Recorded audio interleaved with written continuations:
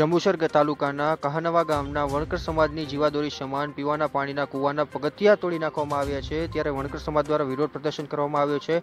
ઉપરાંત આવનારા સમયમાં આવનાર વિધાનસભા ચૂંટણીનો પણ બહિષ્કાર કરવાની ચીમકી ઉચ્ચારી છે. પાનો પગથિયાં તોડી નાખ્યો છે અને રાતદારી પાણી ભરીએ, ધોઈએ. અમારા બાપ દાદાના વખતનો કૂવો છે. એના પગથિયાં તોડ્યો અને અમારો કૂવો બગાડવા બેઠા છે. ત્યાં પાહા કેટલી જગ્યા છોડીને અમારો પગથિયા કેમ તોડી કાઢ્યો? અમારા દલિત લોકોનું કશું તમારે નથી. એનો નિકાલ જોઈએ. હા અમારે નિકાલ જોઈએ. તમારી સારું તમે બાધાઓ રાખીએ. તોય તમે આખર આવવા કહ્યું અમોના ગરીબ લોકોનું કામ દે પાડો દલિત લોકોના. અમારો પગથિયાં હું કા તોડી લખાયો? સરયાળી. તારીખ દસ અગિયાર બે હજાર બાવીસના રોજ સમગ્ર વડગર સમાજની લાગણી દુભાય એવું આ જે રોડના કોન્ટ્રાક્ટર તથા જે તે લાગતા વળગતા અધિકારીએ કરેલું છે. બીજું કે અમારા વર્ષો જૂનો, અમારા બાપના દાદાના દાદા વખતનો આ કૂવો છે. અમારો વણકર સમાજ આ જ કૂવાનું પાણી પી અને અમારે નસે નસમાં કૂવાનું પાણી છે. એ કૂવાની સાઈડ પર આવેલા પગાથિયા તોડી નાખવામાં આવેલા છે. જ્યારે ગામને જે રોડનું મંજૂરી થઈ, એને ગામથી લઈ અને જ્યાં સુધી જે માફ હોય, તે પ્રમાણે આ લોકો કરતા હોય તો અમને કોઈ વિરોધ નથી. પણ આજે વણકર સમાજની પર વારંવાર અત્યાચાર કરવામાં આવતી હોય, તો વણકર સમાજની લાગણી દુભાય એવું કામ થયેલું છે. આજે મહિલાઓથી લઈ અને સમગ્ર પુરુષો અહીંયા કુવાના પાસે ઉપસ્થિત છે. અને જો ટૂંક સમયમાં નહીં, પણ આજ સાંજ સુધીમાં આનો કોઈ જવાબ નહીં મળે, તો ગાંધીજીના માર્ગે પણ ઉતરવાનું થશે તો અમે ઉતરીશું. પરંતુ લાગતા વળતા નેતાઓથી લઈ અને અધિકારી, સરકારી અધિકારીઓને એવું કહેવા માંગુ છે કે આની યોગ્ય તપાસ તાત્કાલિક કરાવો, નહીં તો અમે સમગ્ર વણકર સમાજ ચૂંટણીનો બહિષ્કાર કરીશું. એમાં કોઈ બે મત નહીં.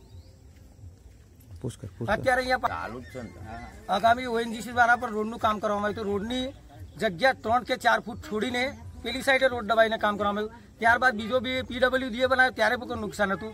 અત્યારે જે મોદી મોટી વાતો કરતા હોય મોદી સાહેબ દિલ્હીમાં બેઠા બેઠા અને ગુજરાતમાં પણ મોટી મોટી વાતો થઈ કે અમે આ વિકાસ કર્યો. માત્ર ને માત્ર દલિતો પર અત્યાચાર જ કર્યો છે આ સરકારે. બાકી કંઈ કર્યું નથી અત્યાર સુધી.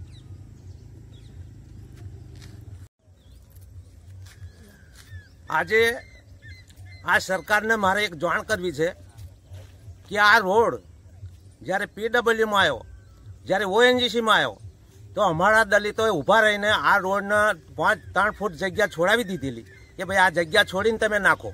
તો એ લોકોને કોઈ અડચણ આવી નહીં. હવે આજની તારીખે આ જ્યારે રોડ આવ્યો છે અને આ રોડ આવ્યો, એની અંદર મારા બાપ દાદા મને કહેતા હતા કે આ સાતસો વર્ષથી આપણા વડીલોએ આ કૂવો બનાવેલો છે. અને જ્યારે એની સાફ સફાઈ કરવાની થઈ ત્યારે ત્યારે અમારા પંચાયતના કર્મચારીઓએ એમ કીધું ભાઈ, અમે તમને મદદ કરીએ. અને આ પંચાયતે મદદ કરી અને આ કૂવાની ગાળણી કરેલી અને એને રિપેર કરી આપેલો. ત્યારે અત્યારે અમારા જે દલિતો છે, એ બધા અહીંયા આગળ આ બહેરો આવે છે, પાણી ભરે છે. જે તે દિવસે જ્યારે દુકાળ પડ્યો, પણ છતાંય અમે આ કૂવાની અંદરથી જામ તેમ કરીને દારો પીને પણ જીવતા રહેલા છે. હવે આજની તારીખે આ રોડ, આ અમારા કૂવાનો પગથિયો તોડી નાખ્યો. વત્તા જ્યારે સાહેબ જ્યારે આ આ રોડની માપણી કરવા આવ્યા અને આ જુઓ સાહેબ આ શું હાલત કરી છે? ઓનો પગથિયો અહીં સુધી હતો તો તોડી નાખ્યો. હવે આજની તારીખે જ્યારે આ મોટી ગાડી જશે અને આ જ્યારે અંદર આ કૂવો બેસી જશે બહેનો કદાચ ઉપર આ કૂવા પર પાણી ભરતા હોય અને અકસ્માત થાય તો એની જવાબદારી કોની રહેશે સાહેબ? વધતા કે જ્યારે આ સાહેબ જ્યારે આ રોડની માપણી કરવા આવ્યા અને ત્યારે મેં કીધું હતું કે સાહેબ આ તો એમ કે ભાઈ, તમે ગભરાશો નહીં, તમારા કૂવાને કંઈ પણ અંચ આવવા દઈએ નહીં. અને એમણે માપણી કરી અને આજે આ સાડા સાત મીટરની અંદર આ રોડને આ પારી નાખેલી છે.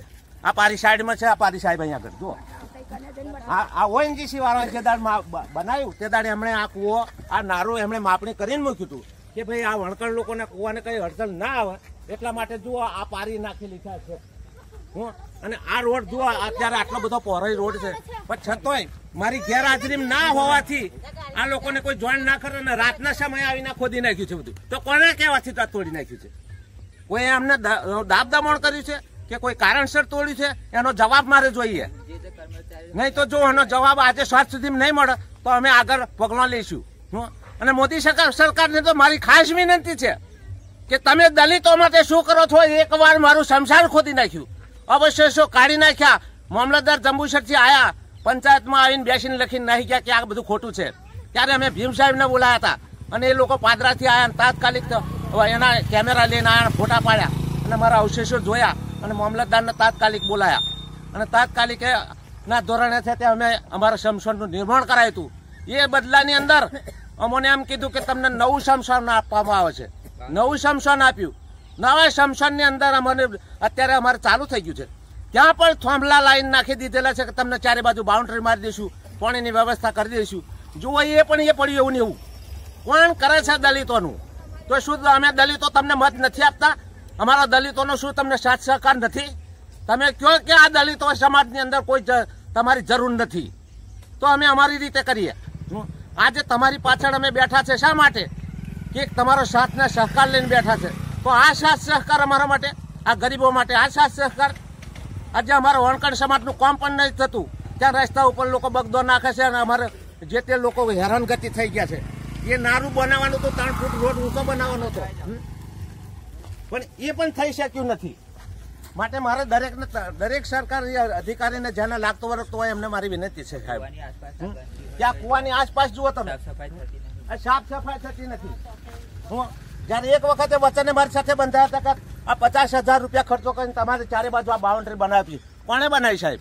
તો પચાસ હજાર રૂપિયા મારા મંજૂર થયેલા કહી ગયા. એ જ્યારે અમારું મોરી સાહેબે કહ્યું હતું, પાંચસો પાંચસો રૂપિયા અમે મિટિંગની અંદર બેસીને અમારી પાસે લીધા હતા. અને તે વખતે કહ્યું કે, ભગત, તારે જરૂર છે? મેં આ જરૂર છે. મારા કુવાની ચારે બાજુ બાઉન્ડ્રી માર દો.